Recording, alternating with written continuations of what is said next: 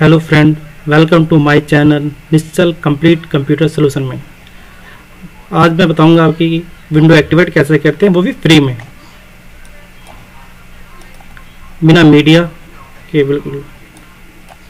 पहले सबसे पहले दिखा दूँ कि मेरा सिस्टम भी एक्टिवेट नहीं है।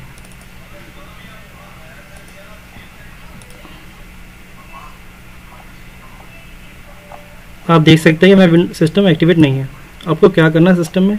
सबसे पहले आपको जो सिस्टम में आपके एंटीवायरस है उसे डिसेबल करेंगे। कोई भी एंटीवायरस हो आपको।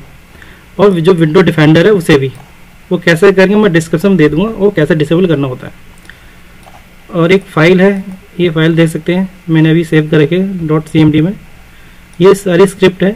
यहाँ पे सेव करिए आपको क्या करना है इस, फ़ाइल को एक नोट में सेव करेंगे और फ़ाइल है सेवेज करेंगे। तो इसे कैसे सेव करेंगे? डॉट सी में आप देख सकते हैं मैं इसे N C C S dot C M D for example के लिए दे सकता हूँ। जो भी नाम रख सकते हैं जो भी आपको अच्छा लगे।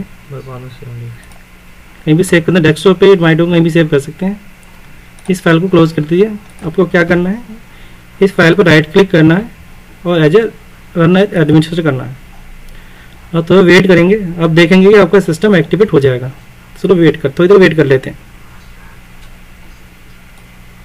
आप देख सकते हैं कि विन, मेरा विंडो एक्टिवेट हो गया। यहाँ पे प्रोडक्ट एक्टिविटी सक्सेसफुली सक्सेसफुली हो चुका है। हम यहाँ पे एस कर सकते हैं।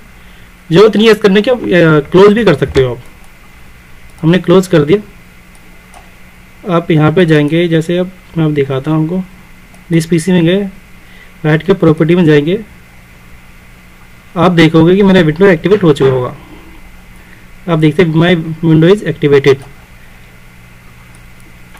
thank you watching my video please like and subscribe my video